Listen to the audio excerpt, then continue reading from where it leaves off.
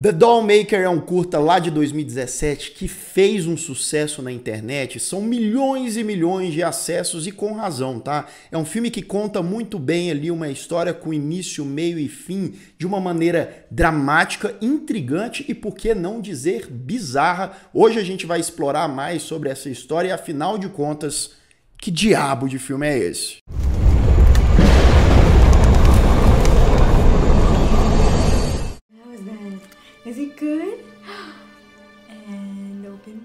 Sejam todos muito bem-vindos a mais um Refúgio Cult, meus amigos. Hoje para a gente falar desse filme que já estourou muito aí no YouTube, que eu acho que tem muita coisa para a gente comentar sobre a história, sobre o que tem no background, as reflexões, porque The Dollmaker é isso, ele é um filme muito curto, menos de 9 minutos de duração, mas que traz vários argumentos, vários momentos. Não à toa, ele é drama, terror psicológico, fantasia, produção americana dirigida pelo All Logger e com o texto, né, o roteiro do Matias Caruso, que rapaz, esse roteiro aqui, ele é muito eficiente. Eu até diria que o roteiro, né, a premissa desse filme, ele tem aquela pegada meio Guilherme Del Toro, que parece um conto de fadas, parece ali uma coisa delicada, sutil, um sonho, porém um sonho macabro que vai ganhando densidade, que vai revelando camadas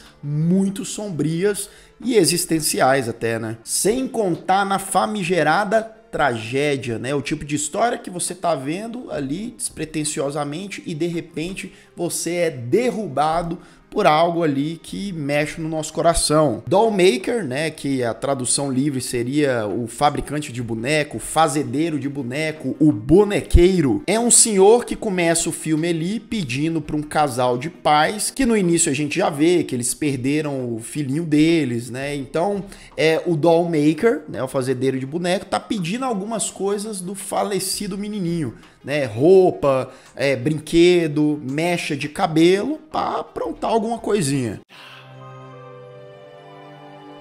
Take a look. Mas bem, aí temos a surpresa do filme. E é aqui que eu dou aquele avisozinho, né? O parênteses. Sim, a partir de agora teremos spoiler. Bem, The Dollmaker, cara, já é muito conhecido. É, no Alter, que é um canal que eu sempre recomendo, que tem curta pra caramba de terror, tem mais de 24 milhões de acessos só esse filme aqui. Vou deixar o link aqui na descrição. Tem outras versões aí legendadas também, tá? Então dá para você assistir numa boa. Vai lá, assiste, depois volta aqui. Mas esse filme aqui eu até gosto de brincar. Que sabe aquela frase que o povo usa muito hoje? Ó, fulano fez um boneco. Fulano, ó, meteu o boneco ali e tal, para falar que a pessoa teve um filho, uma criança.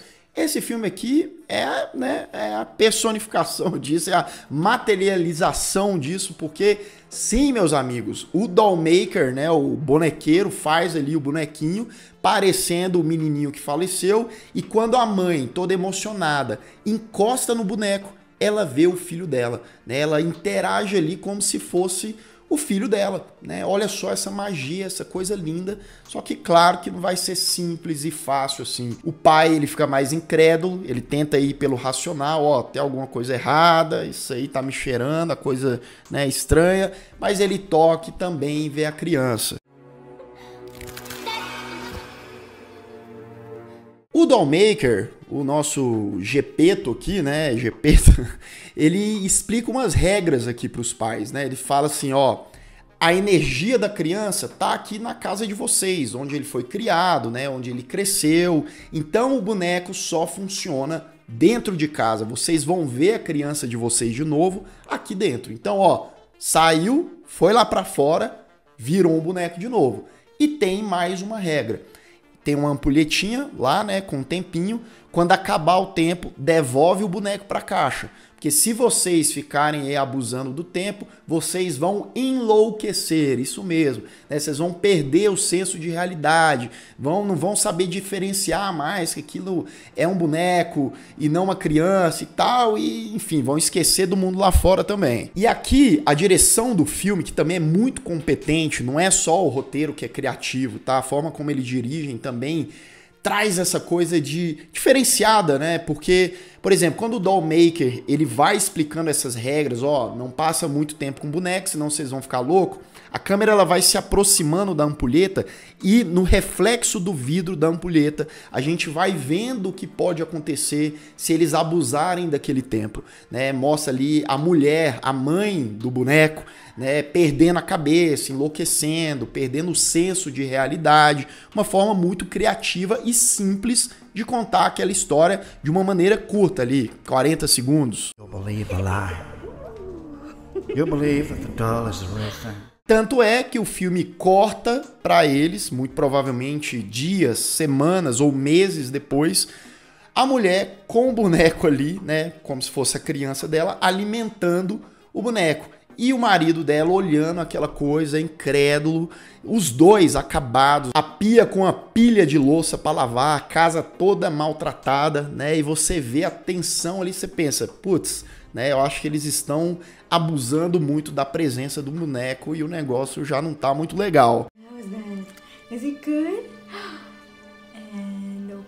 Vou fazer só uns parênteses aqui, mais uma vez, sobre o lance da produção, que é muito boa. É, você vê, pega elementos desde a trilha sonora, que ajuda muito a contar a história, e mais uma vez temos uma trilha que parece de conto de fadas, aquela coisa é, suave, mas a gente está vendo uma coisa macabra em tela, né? E ela preenche ali o background da história e ajuda muito a criar a atmosfera, as emoções que estão sendo transmitidas através das cenas mais uma vez, muito bem dirigidas. Reparem nos enquadramentos, na forma brusca às vezes que eles mostram uma revelação, uma quebra, por exemplo, que a gente vai falar daqui a pouco, que é de uma forma que justamente isso, né? A maioria das pessoas não estavam esperando e a forma como eles entregam isso em cena é muito eficaz e por isso deixa a gente marcado.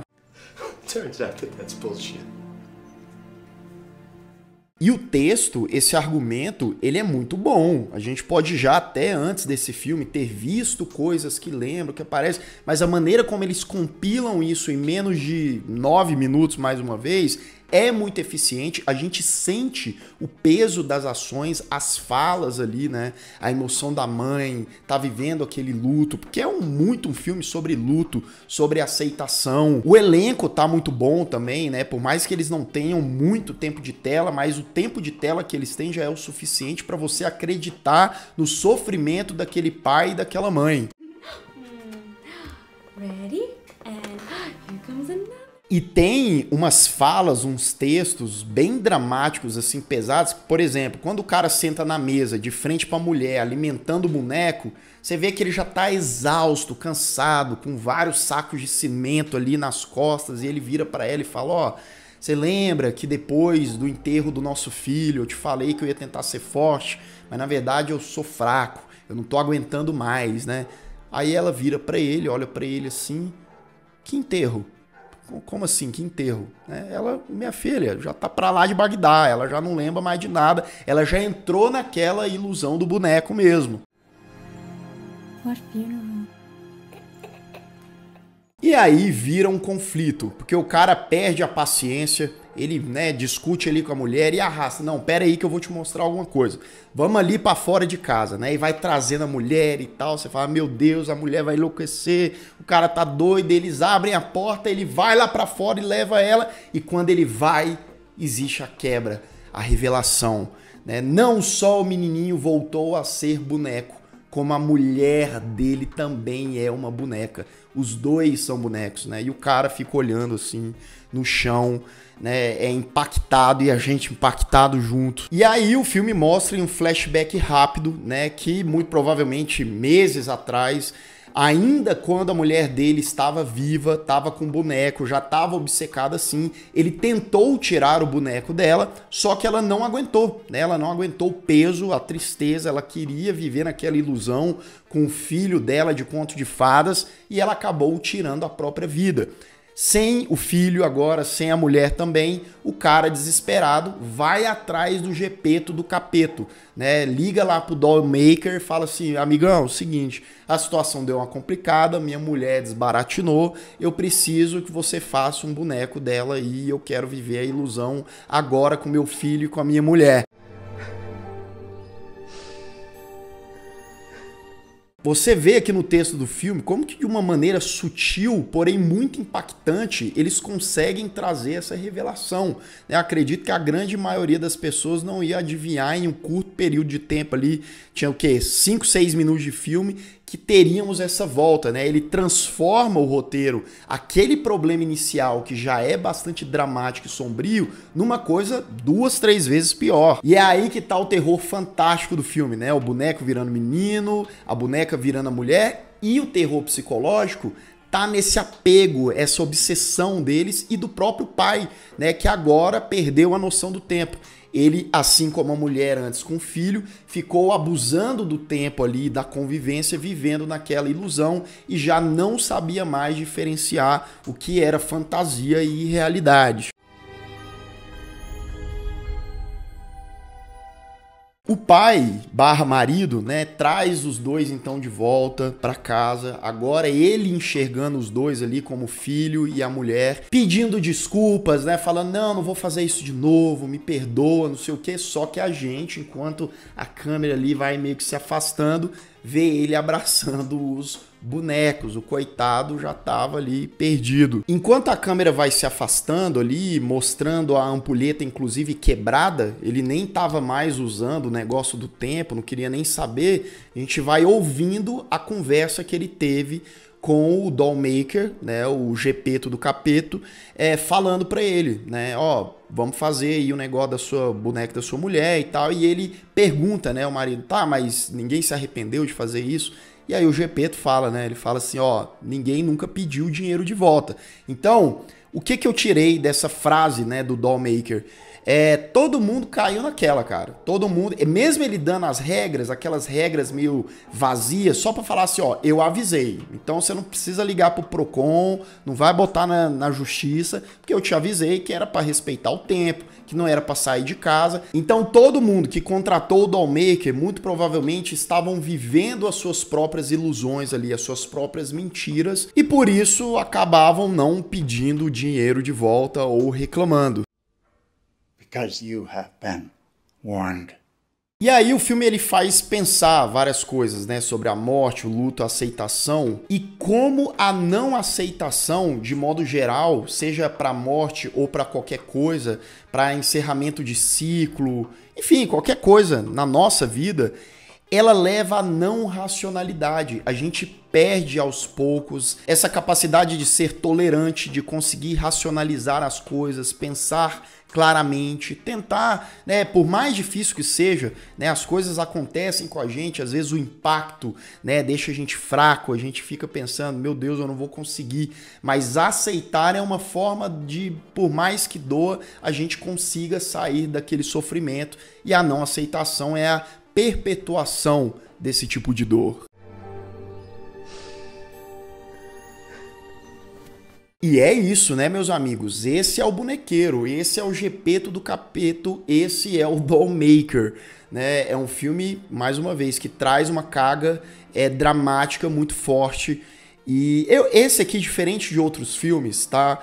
Acho que não, não ser um longa talvez prejudicaria a dinâmica, né? O ritmo do filme, o ritmo do filme é o que faz ele também ser mais impactante e a gente ficar com aquela coisa na cabeça. Ó, eu dou uma nota 9 para The Dollmaker. Uma produção louvável com uma história, um conto de fadas macabro e que sem dúvidas está entre os melhores curtas, melhores produções que estão disponíveis aqui no YouTube. E você, o que, que você acha, hein, de The Dollmaker? Você acha o filme bom mesmo? Ou, sei lá, você se decepcionou? Você já tinha ouvido falar desse filme? Ou melhor, você conhece algum outro filme nessa pegada assim, rápido e intenso? Deixa aqui nos comentários também, quem sabe eu não tenha visto e trago aqui em novos vídeos no canal. E se você ainda não é inscrito aqui no canal, se inscreva aqui embaixo, clique no sininho para receber todas as notificações e deixe o seu like, que ajuda muito o Refúgio Curte. E eu vou ficando por aqui. Caso você tenha perdido os últimos vídeos do canal, ó, estão aparecendo bem aqui do meu lado, é só clicar e assistir, caso o YouTube não tenha te mandado. Um grande abraço e até mais.